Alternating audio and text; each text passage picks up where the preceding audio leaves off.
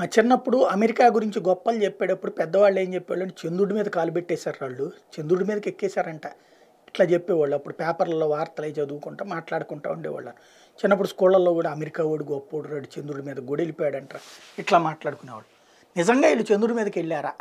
ఎందుకు సందేహం వచ్చిందంటే ఇప్పుడు ఒకసారి వెళ్తే ఇప్పుడు బండి డ్రైవింగ్ చేస్తామండి. ఇవాళ వెళ్ళినప్పుడు ఫస్ట్లో నేర్చుకునేటప్పుడు ఇట్ట ఊగుతా వెళ్తాం. నాలుగు రోజులు పోతే నీట్గా వెళ్ళిపోద్ది.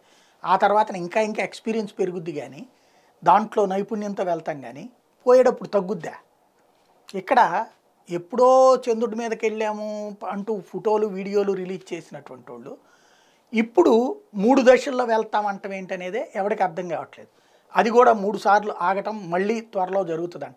దీని సీనియర్ జర్నలిస్ట్ మంచాల గారికి సంబంధించినటువంటి ఒకటి కథనం చూద్దాం.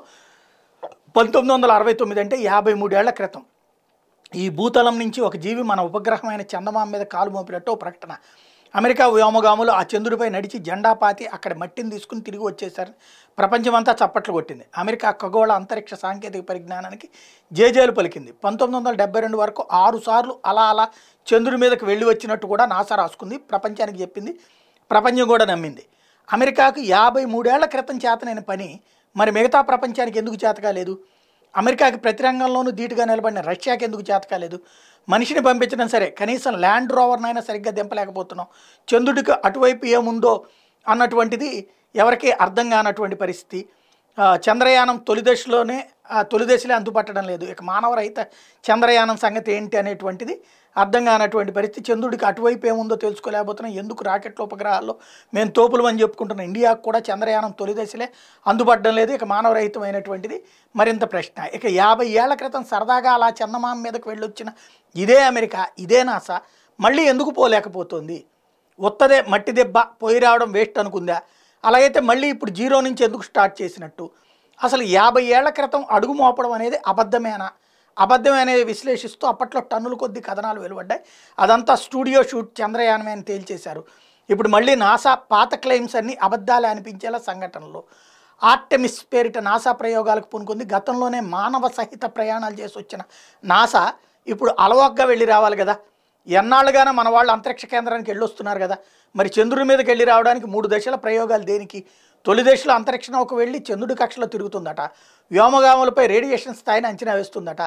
మానవ సహిత అంతరిక్ష నౌకను పంపించడానికి అడ్డంకులు అధ్యయనం చేస్తుందట. అవన్నీ దాటేసిందా కదా. వీళ్ళు చంద్రుడి మీదకి ఆరు సార్లు వెళ్ళి వచ్చింది.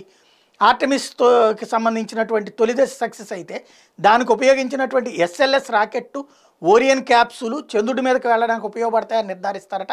ఇవి ఇప్పటివరకు ప్రయోగించిన అంతరిక్ష వాహనాల కల్లా మోస్ట్ పవర్ఫుల్ అని నాసానే చెప్పుకుంటోంది. ఆర్టమిస్ రెండో దశలో అంటే రెండు వేల ఇరవై నాలుగులో మానవ సహిత క్యాప్సూల్ పంపిస్తారట. అంటే ఆస్ట్రోనాట్స్ వెళ్తారు. రెండు వేల ఇరవై ఐదులో మూడో దశ. మనిషి చంద్రుడి మీద నివాసం ఉండడానికి వీలైన పరిశోధనలు సాగిస్తారు. కానీ ఏమైంది? ఆర్టమిస్ తొలి దశ వాయిదా పడుతూనే ఉంది. కొత్తగా ప్రయోగించడమే అనుకుంటున్నటువంటి దశలో ఫ్యూయల్ లీకేజ్ గుర్తించి ఆపేశారు. సాంకేతిక శాస్త్ర పరిశోధనలో ట్రయల్ అండ్ ఎర్రర్ కామనే. కా దాన్ని ఎవరు తప్పుపట్టలేరు కానీ ఒకప్పటి తోపుకి ఇప్పుడు ఎందుకు ఇలాంటి గుంజాటన? ఆ పాత అడుగు మోపిన ప్రకటనలన్నీ బోగస్సేన స్టిల్ చందమామ మీదకి సంబంధించినటువంటి అంశం మీదన మనిషి అడుగు పడలేదా? ఇప్పటికీ అందని చందమామేనా? అవి సందేహాలు. అమెరికా ఎలాగూ సమాధానాలు చెప్పదు కాబట్టి చర్చ అయితే నడుస్తుంటుంది.